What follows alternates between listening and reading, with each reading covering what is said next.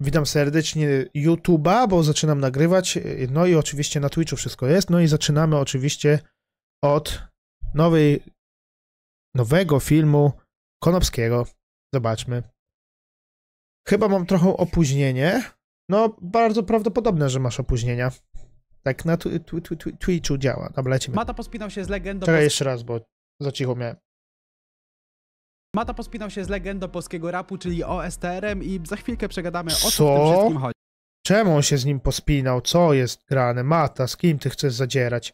Akurat jego ulubię, on ma zajebisty głos. z legendą polskiego rapu, czyli OSTR-em i za chwilkę przegadamy o co w tym wszystkim chodzi. Dodatkowo Julia Żugaj zrobiła konkurs ze śpiewaniem kolęd i zakończyło się to lawidą beki z dzieciaków, którzy wrzucali swoje zgłoszenia na TikToka. Onet wrzucił mocny artykuł na temat mrocznej przeszłości prezentera TVP. Charytatywny mecz Uuu. gwiazd YouTube'a zebrał chore pieniądze. A na koniec pogadamy Nieźle. o ostatnim beznadziejnym pokazie polskiej reprezentacji.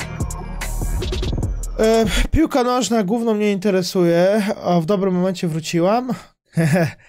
e, po, powiem szczerze, piłka nożna mnie głównie interesuje, ale jak coś fajnego zrobili, to czemu by nie posłuchać, Julia nie? Żugaj opublikowała na swoim Instagramie Julia post, Żugaj. którym informuje o swoim E, kojarzę konkursie. imię i nazwisko i kojarzę tą twarz, ale nie wiem czym się zajmuje, tak szczerze mówiąc, bo ona się przewija chyba już u niejednego youtubera, nie? I, i jakiegoś tam komentary, Julia Żugaj, kojarzę coś. konkursie związanym z Jakaś dramę miała chyba, nie? I osoby, które chciałyby wziąć udział, muszą zaśpiewać kawałek kolendy Cicha, Cicha noc, noc. lub Przybierzeli do Betlejem. I wstawić to na TikToka z hashtagiem chór Julia Żugaj. Czyli mamy standardową promocję płyty, ale problem jest taki, że wyszedł z tego dosyć spory rozpierdziel. Bo? Żugajki zaczęły stawiać swoje posty konkursowe, ale wiadomo, że w większości to były dzieci, które po prostu chciały mieć okazję wystąpić na płycie Julii Żugaj. I niezbyt przejmowały się swoimi umiejętnościami wokalnymi. Chwała na wysokości, chwała na wysokości, a Pokój. Matka święta.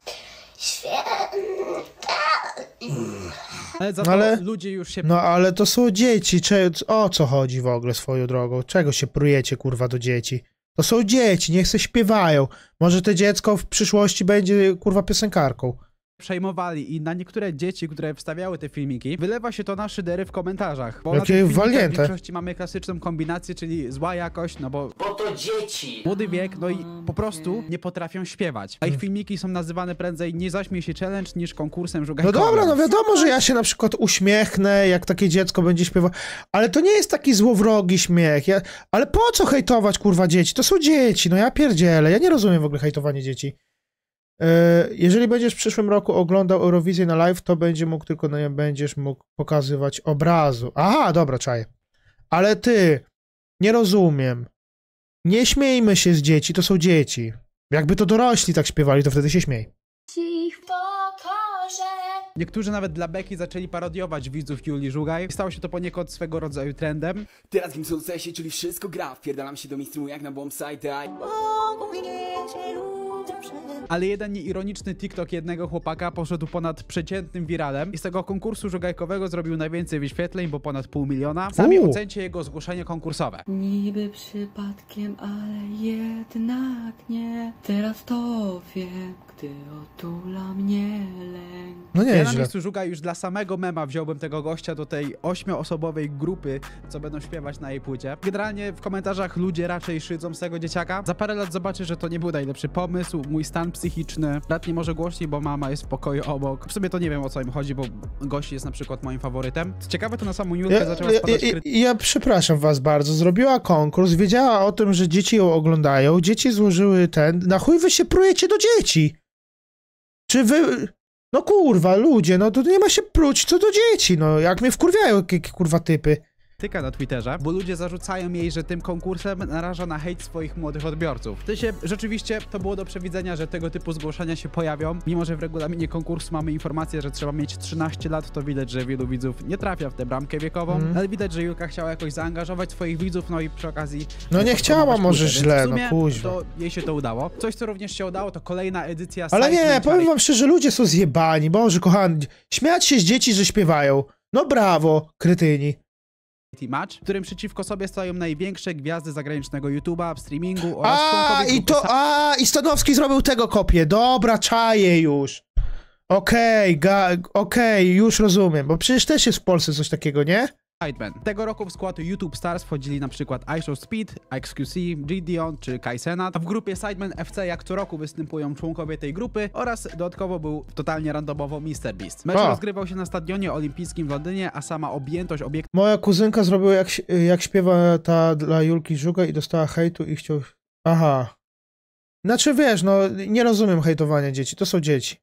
Jest szacowana na 60 tysięcy Jakby dorosła osoba śpiewała i fatalnie, to, to, to musi ona być gotowa na to, że będzie krytyka. Ale dzieci czasami nie myślą o takich sprawach, okej?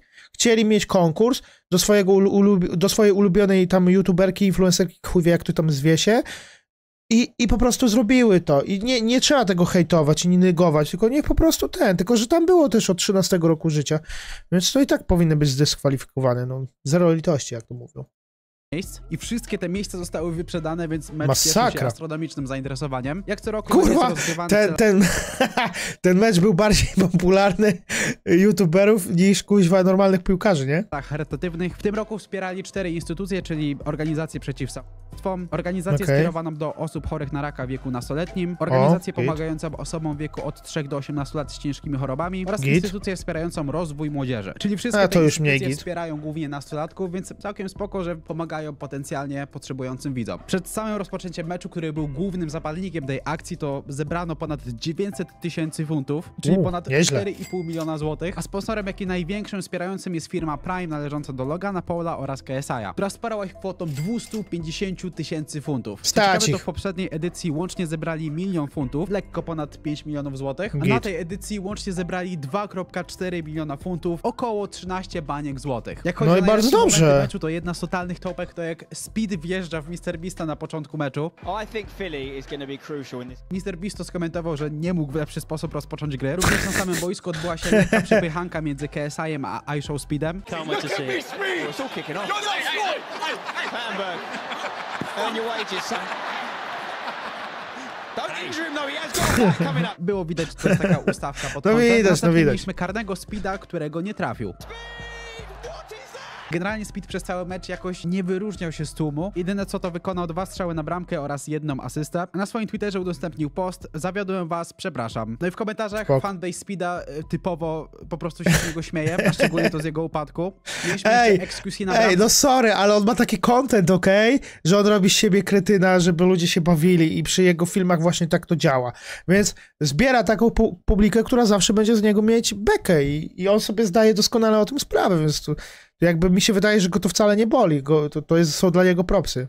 Który okazał się jednym z najgorszych bramkarzy na świecie i wpuszczał absolutnie wszystko. I cały mecz zakończył się wygraną sidemenów, czyli 8 do 5. Generalnie zajebista akcja, zobaczyłbym coś takiego na większą skalę w Polsce. Jak jesteśmy przy piłce nożnej, to musimy pogadać o tym, co dzieje się z polską reprezentacją, bo pojawiły się dosyć ostre perypetie podczas eliminacji do Euro. Jest to trochę No. smutne, bo dostaliśmy jedną z najprostszych grup do wyjścia, ale ewidentnie Nie znam się na piłce, to nie tak. wiem. Wszystko zaczęło się od meczu z Mołdawią. Na początku każdy się cieszył, bo prowadziliśmy 2 do O, 0. Mołdawia, miał to te, te, te zajebista piosenka na Eurowizji Mołdawii. Tam, nie wiem, gdzie, gdzie, coś, coś tam... Ciekaj, ciekaj, coś tam, nie, nie pamiętam. Mecz się zakończył 3-2 dla Mołdawii. się przeglądamy i znowu nie kryjemy zawodnika. Mołdawia to nie są jakieś koty. Im dosłownie zdarzało się przegrywać z wyspami owczymi. Wiecie co, mnie tylko de- wiecie, co mnie denerwuje bardzo? Bo my mamy je- jednych z najlepszych na świecie e, siatkarzy, o ile nie najlepszych na świecie siatkarzy. E, I im się płaci grosze za reprezentowanie naszego kraju i oni wygrywają, a taki piłkarz zyskują ogromne pieniądze. Za co? Że są pośmiewiskiem, nie? To chore. E, Dla mnie Julka powinna zrobić Gmail do tego konkursu, a i asystenci powinni spra- e, sprawdzać, jakie filmy są wysłane. E, Tak, to prawda. Jakby wydaje mi się, że to byłoby bezpieczniejsze dla tych dzieci, że nie TikToki, tylko po prostu wysyłać zgłoszenia i to byłoby o wiele bezpieczniejsze. Wydaje mi się, że to jest najrozsądniejsze. W sumie masz rację, nawet o tym nie pomyślałem, ale rzeczywiście Julia powinna zrobić coś takiego. No, ale też kurwa hejtować dzieci za to, że się bawiły. Chore. za chwilę. Wtedy Polacy zostali bardzo gorąco pożegnani z boiska. Ale nasz mecz z Wyspami Owczymi to przejdzie chyba do jakiejś historii memów. Generalnie Wyspy Owcze posiadają około 50 tysięcy mieszkańców i wszyscy ich reprezentanci profesjonalnie nie grają w piłkę. Mamy tam na Okej. przykład nauczyciela, kierownika z zaopatrzenia w stoczni, budowlańca, dealera w salonie samochodowym, członka załogi statków, elektryka, woźnego w szkole studenta, jeszcze jest stolarz i elektryk, asystent w świetlicy szkolnej. Generalnie to nimi wygraliśmy. Ja pierdolę. Wiedziałem, kurwa, że nasi, nasi piłkarze to się nadają, żeby walczyć z takimi ludźmi, to wtedy wygrają. 2-0, ale powstało kilka memicznych sytuacji z tego meczu, czyli na przykład Fikołek Krychowiaka sam sobie kopnął piłką w twarz. Niesamowity obrazek. Ale naszym gwoździem do trumny był mecz z Albanią. Potem mecz jesteśmy na przedostatnim miejscu w grupie, a za nami są tylko wyspy Ej! owcze. Przegraliśmy Czy ja nie miałem zapytania na live, czy, czy Polska wygra z Albanią i powiedziałem, że Polska przegra 2-0? Czy ja, czy ja nie powiedziałem czegoś takiego, a z dupy to wziąłem? Ja to z dupy wziąłem. Ej, czy ja czegoś takiego nie powiedziałem? Przepraszam was, czemu ja się nie założyłem z moim widzem? Ja teraz powinienem dostać jakiegoś kurwa donata 100, fu- 100 zł albo coś. Ja bym mógł się... Czemu ja się nie założyłem o kasę? Tylko, kuźwa, kto to był? Ja teraz nie pamiętam.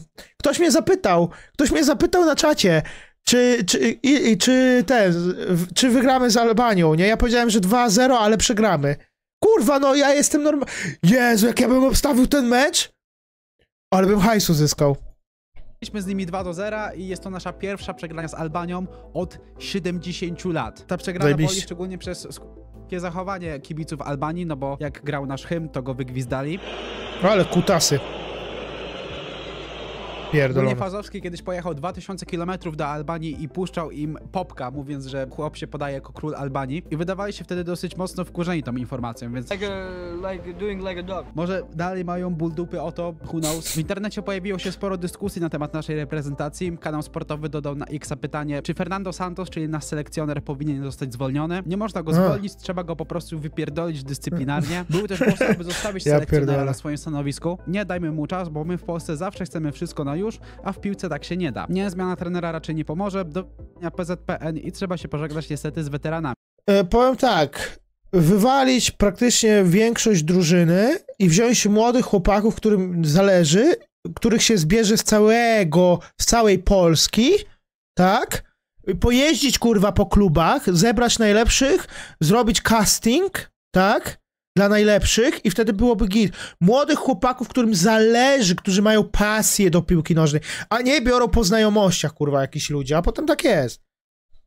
Szczęsny, Bednarek, Grosicki, Krychowiak, Lewandowski. Panom już dziękujemy, w sensie serio. Dziękuję za zasługi, ale już czas. TVP Sport napisał na swoim Twitterze, że Fernando Santos Lewandowskiego. przestanie pełnić funkcję selekcjonera reprezentacji, ale raczej traktowałbym takie coś Ja- z dystansu. Ja powiem tak, w ogóle ja nie rozumiem y, tych, tych. Y, należy płacić piłkarzom za wyniki, a nie za same wyjście na boisko. To też, no nie, no trzeba im zapłacić, bo jak mają się utrzymać? Nieważne, że przegrają, ale ja tak zawsze uważałem, tak jak na przykład w grach. Jak przegrywasz, to musisz przegrać w taki sposób, żeby twoi widzowie, tak, ewentualnie ty sam, bo jak na przykład grasz w gry, to, że ty sam jesteś zadowolony z tej przegranej. Znaczy boli cię, bo wiadomo, przegrana jest przegraną, ale ty zrobiłeś wszystko, co mogłeś. To była minimalna przegrana. To były dosłownie, wiesz, sekundy na przykład dzieliły. Takie gry nigdy się nie, nie denerwowałem, jak przegrywałem. Ale strasznie się wkurwiam, jak na przykład przegrywam jakiś mecz w grze, gdzie dostaję w takie ci- wciry, że wiesz, że to w ogóle walki nie było.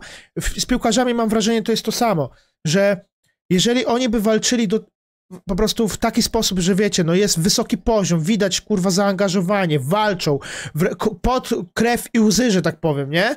To ludzie by nie mieli pretensji o przegrane, bo, bo najwyraźniej są gorsi i tyle. Ale oni bardzo często przegrywają w, z takim fatalnym skutkiem i, i w ogóle nie widać w nich jakby pasji, nie? I mi się wydaje, że to jest zależne. Mają kontrakty reklamowe, więc się utrzymują. No, ale ja nie wiem, powiem ci szczerze, jak to tam u nich działa, ale chyba nie wszyscy mają, bo tylko ci popularniejsi, nie?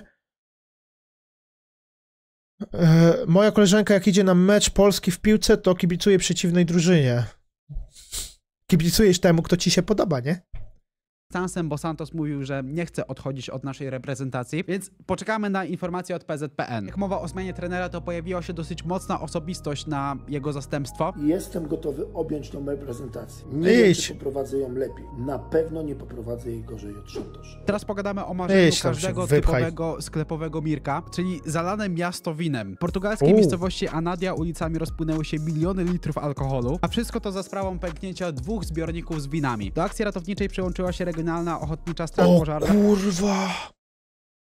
Ale to są pieniądze. Od razu przystąpiła ona do zbierania alkoholu, który zalewał ulicę. Na szczęście cała sytuacja nie pociągnęła za sobą żadnych ofiar, a gdyby wino dotarło do rzeki Sertina, to mogłoby to spowodować katastrofę ekologiczną. Parę dni O, temu portal. Onet opublicznił mocny artykuł na temat mrocznej przeszłości prezentera TVP, czyli Nie Michała znam. Adamczyka. Mężczyzna pracował dla telewizji polskiej od blisko 20 lat, prowadził on wieczorne wydanie wiadomości i przez ostatnie lata był główną twarzą propagandy podawanej na TVP. Adamczyk No. został wybrany na nowego szefa telewizyjnej agencji informacyjnej, czyli zarządza dziś całym pionem informacyjnym w TVP. Artykuł zarzuca, że w 98 roku wdał się w romans z kobietą w kryzysie małżeńskim, samemu No wówczas będąc małżonkiem oraz ojcem, a po dwóch latach Eee, kurwa, dajcie spokój, to, to, ale drama, o Jezu, jaki jest kryminalny. Ja myślałem, że kogoś zadźgał, zabił albo coś. Zakończyć ich relacje i spróbować na nowo odbudować małżeństwo z mężem. I ta informacja miała doprowadzić do brutalnego pobicia kobiety przez Adamczyka. A, to już podaje, że mężczyzna wyzywał kobietę, pluł na nią, czy też wyrywał jej włosy. Na papierze jest brutalnie. Mężczyźnie zostały postawione zarzuty, natomiast w styczniu 2002 roku sąd umorzył warunkowo sprawę i nałożył karę w postaci dwuletniego okresu próby i zobowiązał do wpłacenia 1500 zł na No jak się tak, jak się tak zachował, to jebać go, nie? Jakby tak. TVP to dziennik telewizyjny 21 XXI wieku. No. Miał mieć miejsce 11 stycznia 2002 roku. Sąd uznaje, że sprawostwo i wina oskarżonego nie budzą wątpliwości i zostały potwierdzone dowodami zebranymi w sprawie. No Prezydent bardzo TVP sformułował oświadczenie, gdzie odpowiedział na artykuł Onetu i stwierdził, że informacje podane przez Onet nie są prawdziwe. Oświadczam, że czyny opisane w artykule nie miały miejsca. Pracując na stanowisku dyrektora telewizyjnej agencji informacyjnej, jestem narażony na ataki, ale w tym przypadku Onet brutalnie wchodzi w moją sferę prywatną i uderza w moich bliskich. Termin publikacji artykułu przedstawiającego wydarzenia sprzed 24 lat w sposób całkowicie zmanipulowany wskazuje, że celem ataku jest przede wszystkim mój pracodawca, czyli telewizja polska. No, no, no dobra, ale kurwa tu nawet ja wyjebany mam na twoją telewizję polską i szczerze mówiąc, tylko chodzi o to, że e, jakby no wiecie, to zostało mu udowodnione, został skazany. Jakby pobił jakąś tam kobietę, no to o czym my mówimy w ogóle? do dyspozycji zarządu TVP. Czyli Co mnie obchodzi TVP? Wybory, to Adamczyk się tłumaczy, że specjalnie został w jego stronę wystosowany taki atak, żeby to telewizja polska dostała po dupie, a nie on. No ale w tej sytuacji to jednak on głównie dostaje. On dowiedział się, że prezenter znika z anteny, a w najbliższym czasie może również stracić stanowisko szefa telewizyjnej agencji informacyjnej. Na Twitterze swoje słowa wsparcia dla Adamczyka wystosował Samuel, czyli wicedyrektor telewizyjnej agencji informacyjnej i kierownik TVP Info, mówiąc, iż zarzuty są nieprawdziwe mimo wyroku sądu. Głos w sprawie zabrała tak. również była żona pracownika TVP. Kobieta powiedziała m.in. o niepłaceniu alimentów, groźbach, a w 2001 nie zabrała głosu w sprawie z powodu lęku przed stratą pracy. Brudna sprawa. No i masz kuźwa jaka kutwa, że tak powiem. Jakby no takich ludzi powinno się, że tak powiem, usuwać. Ale TVP to jest w końcu, kurwa, no nie... Kogo obchodzi TVP? W ogóle niech to zniknie. Szczególnie, że zamieszana jest w to polityka. Wątpię, że tak duży portal jak Onet narażałby się na gigantyczny pozew, nie posiadając faktycznego poparcia swoich słów. Z drugiej A, strony, bywa. ja do zarzutów pokroju zły mężczyzna mnie brutalnie kiedyś pobił. Podchodzę z dużym dystansem, bo niejednokrotnie okazywało się, że faceci byli pomawiani w celu zniszczenia im życia zawodowego. Z trzeciej strony sąd potwierdził te zarzuty i winę Adamczyka w 2002 roku. Ale Hmm. dlaczego wtedy dostał tak mały i pobłażliwy wyrok? Czyli te dwa lata próby i wpłata 1500 zł na fundację. Dużo pytań mam do tego tematu i będę go na bieżąco śledził i was update'ował, więc bądźcie na czasie. Teraz przegadamy dramę z rapowego środowiska, No. czyli OST. Ale powiem wam szczerze, no co, no co ja mogę powiedzieć, nie? Z którego miasta w Polsce jesteś?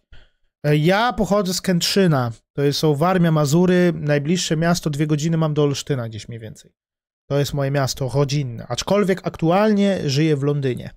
TR versus Mata. Dwa kompletnie odległe pokolenia. Ostry No. to dinozaur polskiej rap sceny z dużym szacunkiem wśród wiernych słuchaczy. No, kurwa, Mata to kozak. wszystkim mam znany reprezentant młodego pokolenia. Jedna z zabifu zaczyna się od wydania przez Ostrego nuty, czyli Crystal, podczas której Ostry nawija o raperach, którzy nie odpowiedzieli mu, czy zrobią z nim fita, albo po prostu nie chcieli z nim fita. Wśród tych raperów mamy na przykład Quebo na Fide, Dzwonię do Kłebo, żeby zapytać o zwrotę na płytę. Palucha, Słonia oraz wcześniej wspomnianego Matczaka. I No. w sprawie Maty ludzie już w komentarzach No dobra, no, ale mają prawo odmówić, tak? No co, no co zrobisz? No przecież No, halo.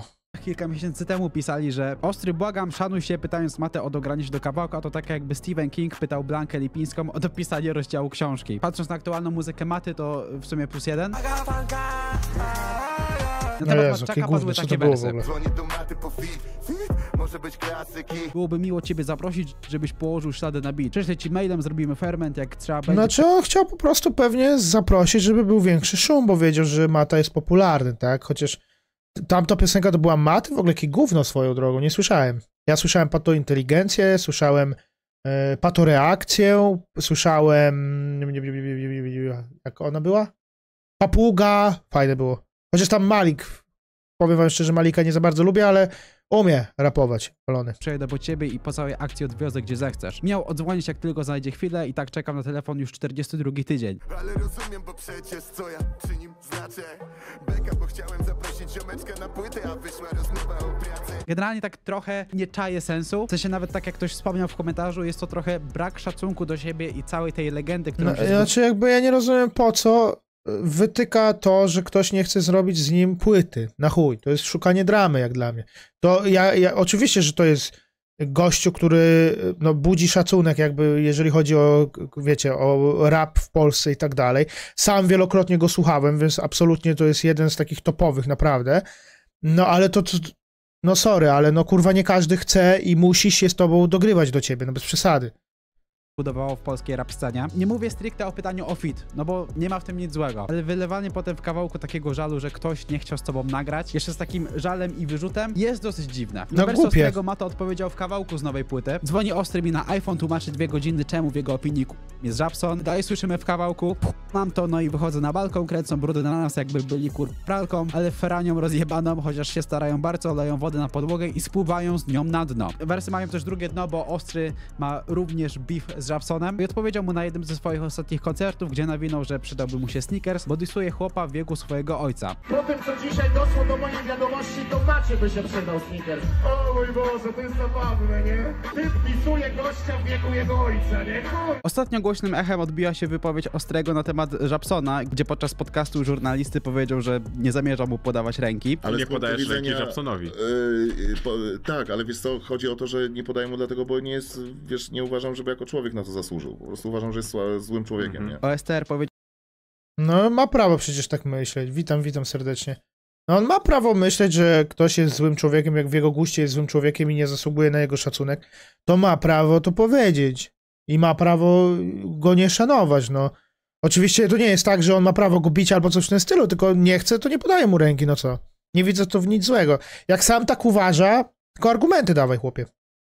Powiedział wtedy, że uważa, że jest złym człowiekiem i paru jego znajomych spotkało się z wyjątkowym hamstwem ze strony Żabsona. Ogólnie. Ostry to ma jakiś kompleks tej nowej fali raperów w mainstreamie. Nie, nie, nie, nie, bez bo właśnie, to ja chciałbym tutaj zerwać, bo jest taki, taki stereotyp, że ja ponoć, wiesz, nie lubię młodego pokolenia i tak dalej, nie? Nawet Oki nawijał w kawałku, że raz chciał go bić 10 sekund przed wyjściem na scenę. Dosłownie przed wejściem na scenę w koszalinie ostry w podbił wyjaśnię czemu nazwałem go Arlekinem Wszystko rozeszło się o to, że Oki nazwał Ostrego Arlekinem, bo chłop dosłownie sprzedawał kurs, jak być raperem, gdzie wiadomo, że rapu nie Mm. nauczycie się z jakiegoś kursu, tylko musicie w to włożyć lata długiej pracy. Jest trochę smutne, że po takiej legendzie widać aż tak wielką desperację finansową, że sprzedaje się tak zastanawiam, co się dzieje, co, że przestaje być popularny, tak? jakieś kursy, za Wystarczyło stworzyć kanał na YouTubie i zacząć po prostu pokazywać, jak się tworzy. Ni- Czy ktoś z tego coś wywnioskuje, czy nie, to już jego sprawa. Założyć Patronite'a, stać się tak naprawdę YouTuberem. Mu, multum ludzi by chciało. Ja sam bym sobie go oglądał, może bym się czegoś dowiedział, jak się to tworzy. To, to jest takie trudne, wystarczy pomyśleć, a nie disować, kurwa, jakichś chłopaków, bo, bo ktoś mu się nie nagrał. Jak idiotyzm. Czepiał młodszych kolegów z branży, ale też patrząc na wyniki jego nowego albumu, no to takie za A, kurwa, 25 tysięcy tylko, dwie, 26 tysięcy. A, dobra, czaję. Ja myślałem, że on ma większe, chociaż ja, ja go teraz nie słucham, ale myślałem, że on ma większe wyświetlenia. On po prostu chciał się dograć, żeby mieć hype, bo wiedział, że to zrobi milionowe wyświetlenia. Chciał zaistnieć wśród młodzieży. I teraz po prostu rozkręca dramę, żeby... Z... Powiem ci szczerze, trochę podupada jakby, no nie za fajnie to wygląda, jak ktoś coś takiego robi. No bardzo nie, nie, nieprzyjemne. Zaczepianie może być jego ostatnią deską ratunku. Jak chodzi o Możliwe. opinię słuchaczy, to większość propsuje OSTR-a za wersy na swojej nucie Crystal, bo jako jeden z niewielu raperów w polskiej rap grze rzuca ksywami na traku. Natomiast macie pod nutą różowe oszy dostaje się zarówno za wersy OSTR oraz za najnowszą płytę, która w opinii słuchaczy jest słaba jak na matę. A propos samej płyty, to Multi ostatnio podczas streama zarzucił dosyć ciekawą tezę odnośnie tego albumu. Czemu na przykład młody Paderewski nie jest na tej płycie? Mata miał kontrakt z SBM-em na ilość płyt. Ta płyta, którą teraz wydaje, jest ostatnią płytą w SBM-ie. Niektóre kawałki masz wrażenie, że są niedokończone albo takie na siłę, po to tylko, żeby zaliczyć kontrakt i spier... A te numery, które są bardziej takie dopracowane, będą na kolejnej płycie, którą już wyda sam. Ciekawy jest fakt, że na przykład numer maty uważany powszechnie za dobry, czyli Młody Paderewski, był tego wydany nie pod słyszałem. e-muzyką, a nie SBM. I według teorii O. te numery znajdą się na nowej płycie maty w nowym labelu. To tyle. Jakby, powiem wam szczerze, kanał, żeby być na czasie. Trzymajcie oczywiście, że tu łapeczka w górę, ale ten, jakby, powiem wam szczerze, że trochę dziwna sytuacja moim zdaniem. Tutaj zaczepki z tego były gówniane moim zdaniem. No nie powinien tak robić. No dobra, chce się podpiąć pod sławę młodego, no, no kurwa, nie w taki sposób. No nie w taki sposób, chłopie. Jakby no lipa, powiem wam szczerze, rozczarował mnie chłopina, taka legenda. Najwyraźniej kasy zabrakło, no co może zrobić. No już nic na to nie poradzimy. A Mata nie wiedziałem, że on teraz taki gówna tworzy, a tego jeszcze nie słyszałem. Będę musiał posłuchać. Jaka to była piosenka swoją drogą? Na kolejnej płycie, którą już wyda Czekajcie. kontrakt i spier... A te numery, które są bardziej takie do Młody Padarewski. Nie słyszałem. Jestem po 384 Any. Y, Będę musiał to posłuchać w takim razie, bo Młody Padarewski nie słyszałem tej piosenki. Słabo, to nocy brzytwy się chwyta? Najwyraźniej tak, powiem ci szczerze, ale jestem rozczarowany, bo z jego talentem, z jego nawiką, gdyby się naprawdę postarał, to mógłby zaistnieć wśród młodych ludzi. Wystarczyło kulturalnie po prostu się zachowywać, tak? Ewentualnie, mm, ja nie wierzę, że któryś z, z, z jakichś teraz teraźniejszych raperów go nie słuchał. Jakby, to jest legenda, jakby nie patrzeć, nie? No nie wiem, powiem wam szczerze, rozczarował mnie typeć. No nic.